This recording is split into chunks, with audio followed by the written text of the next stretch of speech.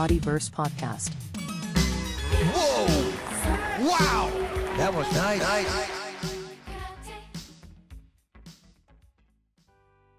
What's going on, everybody? Welcome back to Across the Karateverse. I'm your host, Uncle John, and we are back home from Miami. KC38, fantastic. The Battle of the Brunos, oh my gosh. Turbo knocks out Castaneda, that was very sick. And then I thought one of the most underrated fights of the night was actually Fabian versus Santos. That one had a lot of great strikes.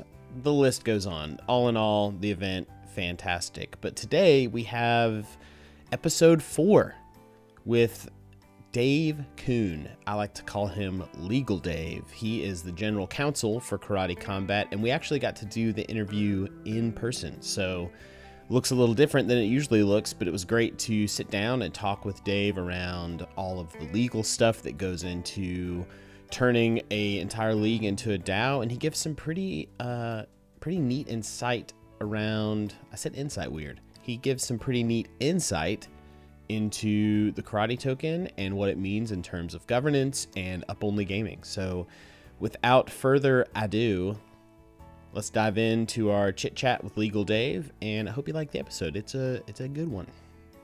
Everybody, welcome to episode four of Across the Karateverse, and today we have Mr. David Kuhn. Yes. Who is the general counsel for Karate Combat?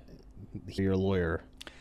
That's yes, what that means. Absolutely. But Dave is a fun lawyer. I think of myself as more than a lawyer, but I am a lawyer. Okay, so it's a attribute. More than just a lawyer. There are a lot of attributes to you, but lawyer is just one of them. I the flattery is always appreciated, so thank you. Yeah. I didn't say they were good attributes. I well, just said that's fair. There are attributes. There are yeah. more to me than that. So, as legal Dave, which is what I've been known to call you, I would like to know how you decided you wanted to be a lawyer and then how you decided you wanted to be a lawyer for karate combat. Yeah. So give me a little background, please. Yeah, yeah. So I think my path to law was similar to a lot of lawyers. Uh, it was a field that was always interesting to me. I just fell into it right after college. I became a finance lawyer. Where'd you go to college? I went to college at UPenn, University wow. of Pennsylvania. Yep.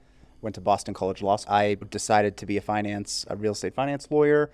Worked about a decade, white shoe law firms in New York City. What does white shoe law firm mean? Just big law. It, big there's law? A, an acronym, big law. A phrase, excuse me, big law. It's just larger law firms, like the corporate, like big corporations, big like the big legal corporations, gotcha, basically. Gotcha, gotcha. It's a really good experience. Did a lot of finance transactions. Very different, very structured. I would say it's structured finance, but answers to a lot of the questions, most of the mm. questions, mm. as contrasted to some of the stuff we'll talk about today. I discovered crypto.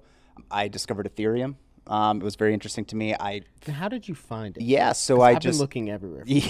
and I can't. I just can't track it down. Yeah, yeah. So I think I probably my path into crypto was also somewhat conventional FOMO, effectively. FOMO, yeah, yeah, yeah. So that's how I got into Bitcoin and then Ethereum. I figured out how staking worked. I decided it was very similar to some of the transactions, conceptually similar to some of the finance stuff I was doing. I was like, this could be the intersection of money and technology, you know, the mm. kind of the money on the internet. When I figured out how kind of proof of stake networks like Ethereum, post merge work, and I got into the technology, took a job as general counsel with another crypto team. I was there for 15 months.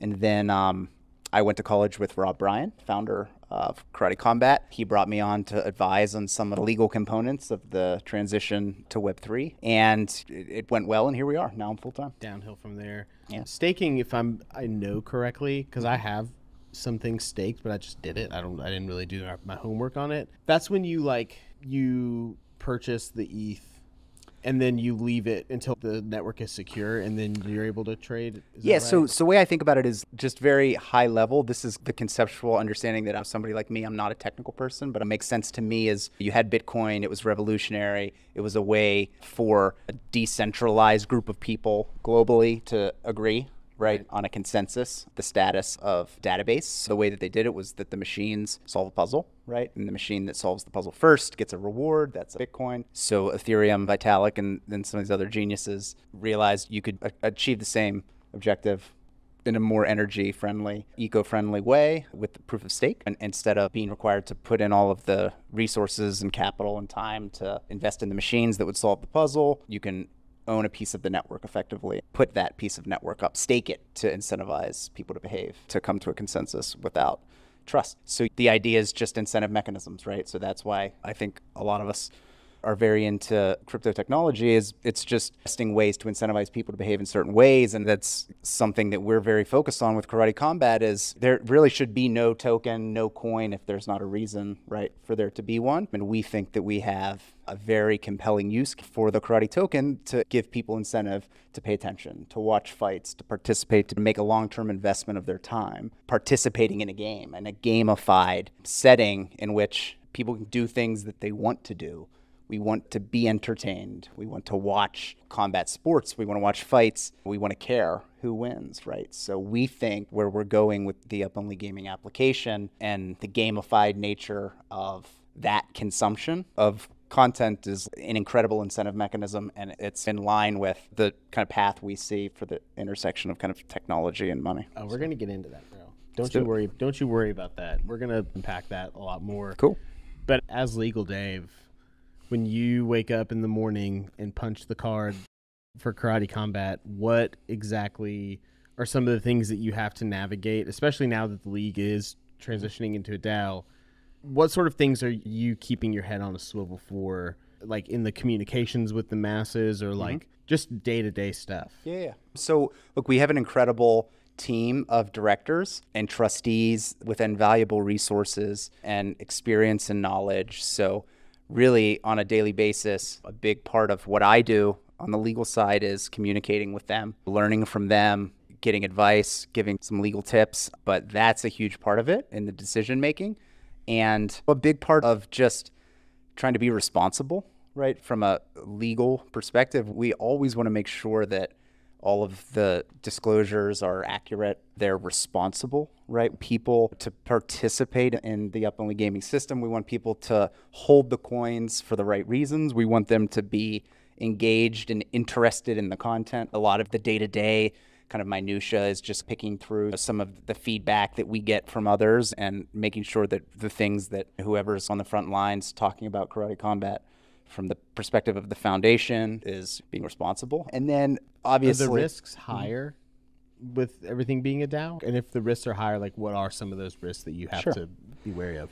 The things you have to like be sure to communicate or Of course, whatever of else? course. Yeah. So look, I think anyone who's been involved with the crypto project knows that one of, if not the most important things to keep in mind, obviously other than security and things of that nature, are marketing. Something is being marketed. It is absolutely vital. So the, what we want to do is always make sure that people understand that coin is not a speculative investment. It is a tool that unlocks access, right, to content. It's a tool that unlocks access to real world experiences, right? We have real fight events all over the world, right? We have an open IP ecosystem, which we're very excited about, right? Giving third party developers incentive and a way to build applications with Karate Combat's IP, right? We've had an extremely permissive perspective on IP since day one. All of our fights are streamed globally for free on the internet on karate.com and the YouTube channel. Like I said, like what I led with was there's no real reason to have a token, right? Unless there's a real reason to have a token. Right. There, we wouldn't be having this discussion if there wasn't an incredible application where people can actually use the token to vote for their favorite fighters. By voting for their favorite fighters, they increase prize pools to give incentive to the fighters, right, to grow their fan base, to win the fights, to give incentive to the fans to watch the fights, to vote for their favorite fighters. We feel very strongly that there's unprecedented day one utility for the karate token. So we need to make sure that we're doing our job of communicating that to whomever needs to hear it. Yeah, every time you say the reason, I think of Hoobastank. I love that song. Yeah, dude, same. I've done a karaoke version of that song from time to time. No way. Yeah. Yeah, I'm a self-titled karaoke king. Okay. Yeah, it's one of my spiritual gifts. So if people start talking about karaoke, I'm usually my heart rate goes up pretty quickly. We've got a new objective. Is Yeah. we're gonna go to a karaoke. All I'm uh, saying is establishment together. karaoke might need to be happening here pretty soon. Okay. I feel like that was a good answer to the risk question. Okay. By the way, I did my best. Got no lost in the answer there a little bit, but I think we came full Sorry, circle. that's what our editor's for. Hey, everybody, shout out to our editor, Mr. Willem Dafoe. Onward then. There are certain things you have to piece together and make sure the marketing does well. I guess you work pretty in tandem with the marketing team. Is it big, the marketing team? small. I mean, the Web3 team is small at the moment. So historically, right, there have been, this is Casey. We're on location now filming KC 38 tonight. Oh, yeah.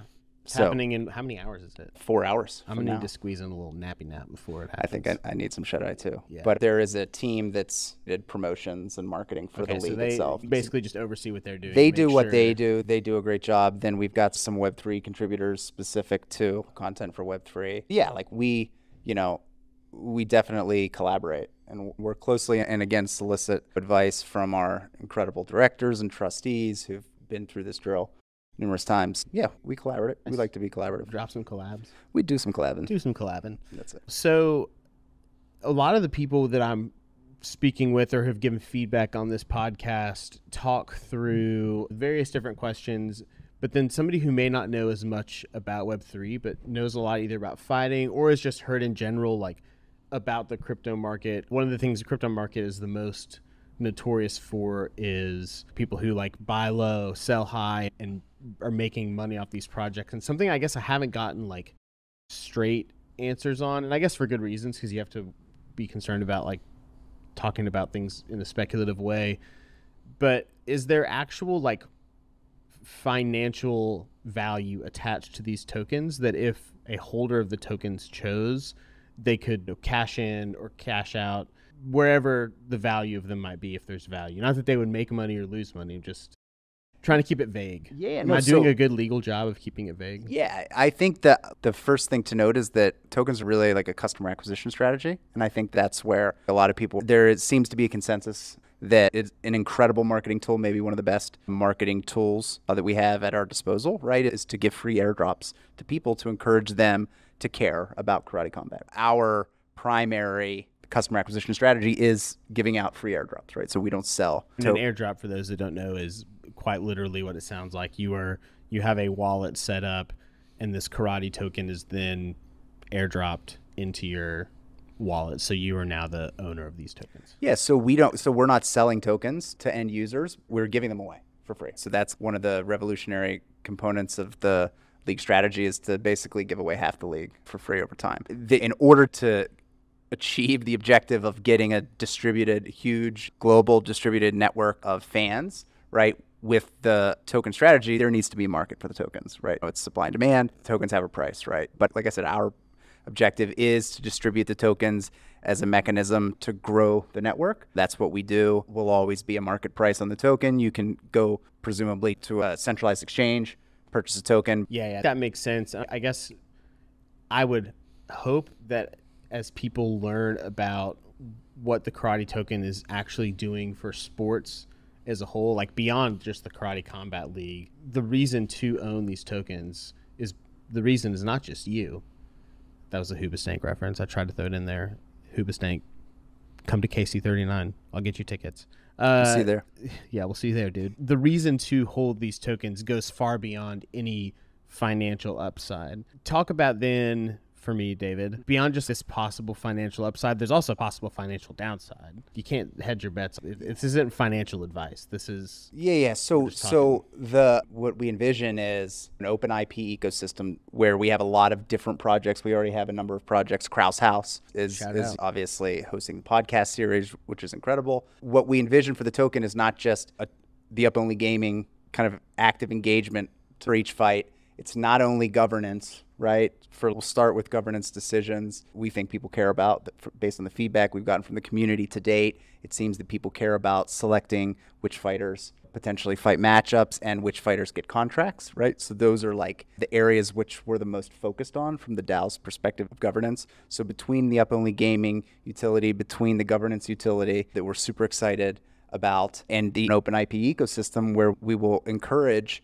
and do everything we can to facilitate third party developers coming in and building cool things. And we will encourage them to create additional utility for the tokens, right? Figure out a way to incorporate them into the project, whether it's a, a project There's a project called Zoop Cards, who's going to put out like a Top Shot Oh type. no way! You know Yeah. baseball cards. So yeah, that- yeah, that's totally. interesting. Like a product on the Hedera network, Okay. and based on preliminary discussions, they're looking into taking karate tokens to accepting karate tokens on their platform. Again, like the token itself, I think between the up only gaming, between the governance, right, the actual real voting abilities, specifically about things people care about, and then we'll expand that over time into as many different areas as token holders are interested in within the constraints, the legal kind of guidelines we put out at the beginning. Between all of these different paths and all these different avenues for use of the token, like we think it's basically unprecedented the amount of real world use for the tokens day one. Yeah, there are plenty of crypto projects that don't really have their foot in like the real world. Like a lot of the utility is online or through like online clubs. Maybe like a discount here and there for like different stores, but really think the way that sports are headed is by viewing fans as something more than just being in attendance to an event. What I'm really excited personally about Karate Combat doing is yes, of course, there's the karate tokens attachment to a market that has monetary value. But then beyond that, like this is a chance to have ownership like utility of a token and be involved in a league in the same way that somebody who like works for the league would. Like being Yeah. able to contribute to the betterment of the league and to use the tokens that you hold and that you can win from up only gaming. Those tokens don't just sit around. Like those tokens are used as like a are they weighted for the governance for voting? Do you vote your number of tokens that you own you can put towards Yeah, that like that? That'll be how it works. Yeah. Okay, yeah. So like if you win a bunch of tokens and you really want to see one fighter, then like your tokens you own will have a lot of weight and you can have a real possible impact in the way that the league runs beyond just what's Yeah. already there. Which I think cool. that's yeah, that's important to note. I think that the- th- there's no separate equity bucket, right? Definitely all in, right, on the league. The league's really ownerless, right? Everybody who holds a token should feel some sense of ownership over the experience, and that's the goal, right? The goal is to make people feel a part of something, and that's we're going to do everything we can to encourage the types of collaboration, build on the foundation that other projects have really the we're not reinventing the wheel we're reusing a lot of the strategies that that other really smart people have used in a super exciting context of a sports league so it's the intersection of the entertainment and the engagement of sports and these kind of lessons that we're learning from experimenting in this new world of tokens which is super exciting it's beyond even making like fans feel as if they're a part of something. The reality of the situation is that they are in fact a part of this league. Totally. Yeah. Um, there it should be like the kind of take home, like if you remember one thing, if you listen to this podcast, it's like there should be access, right? Like access is what we think is like the key to the future of sports engagement, right? So it's not a big secret. Younger fans and mobile streaming are disrupting pro sports. And it's a big part of this is people having access. Like you said, if somebody has something to contribute, to karate combat there should be a way for them to contribute if it's a podcaster if it's you know somebody else with other strengths like there should always be a way to contribute in some way to what to the ecosystem so yeah access is super important Yeah, I'm excited about the fight tonight. me too I'm excited about the airdrop. When is the airdrop? may 10th May 10th. There's a date. may 10th yeah Save the date, everybody. 10 days before the event at the bitcoin miami conference so, Whoa. in miami Oh shoot! I didn't yeah. realize that was going to be at the same time. Is that downtown? Yeah i think so it's at the convention center Nice, dude. I've never been to a Bitcoin conference. I've heard about them. I've heard they have good entertainment during these events. yeah i think that's right Did you go to the last one? i did not go last year I did not go so nice, dude. Thanks for being here, man. I, absolutely I appreciate the insight. I hope the legal stuff is not boring to me. I- and I don't think it's boring to other people. I think parsing it down into like understandable bits is like what makes it cool. you know where to find me Yeah, dude. If you have any more questions, you know where to find me. Where do they find you? What's your Twitter? Uh, it's great day for this. So Great day for you- what? You can put it in the podcast notes. What's it a great day for? It's ambiguous. Just this. It's this. Yeah. Nice. What? How do you spell it? G R the number eight day D A Y the number four this. I made it super simple, uh, Dude. intentionally. So That's the silliest. the great day. that sounds. It doesn't sound like a. It sounds like a Twitter account that you. It, like you know how sometimes they have those YouTube channels that feature like puppies and like inspirational like animal stories.